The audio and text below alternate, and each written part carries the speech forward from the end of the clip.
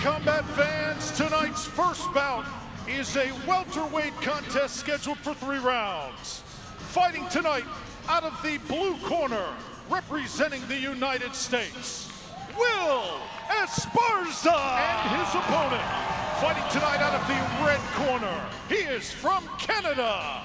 Welcome, Jonnie the Young Blood Bro! That spinning head kick now, instead of going to the body. Very smart, like you said, Georges. Make him think it's a back kick to the body and then switch it up. Boom. Oh, you can see the jab did land several times for Jonnie Broad, the face of Willis Esparza. Wearing some damage. And that was the Superman Boom. punch, and that was it. as clean as you like. That was very nicely done. And we determine the winner solely based on one three-minute overtime round. That could be a possibility to bear in mind tonight. Here's some replays. Bas, talk us through them.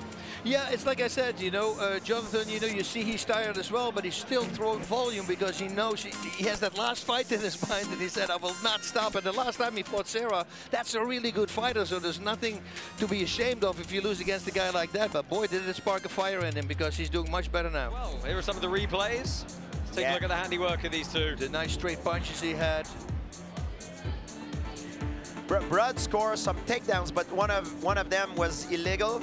And, and you see that this this one was was illegal because both of his hand was around uh, his opponent's legs, and, and uh, but Esparza was pressing pressing the fight. All right, Karate Combat fans, we have a winner by split decision out of the corner, representing the United States, Will Esparza.